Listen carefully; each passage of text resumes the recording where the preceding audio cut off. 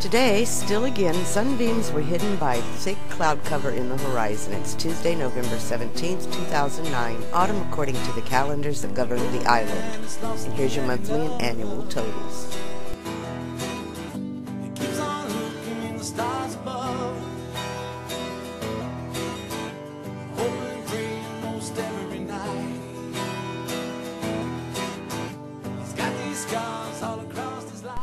Today's current weather, Okinawa 2009, is a Just a Wife creation.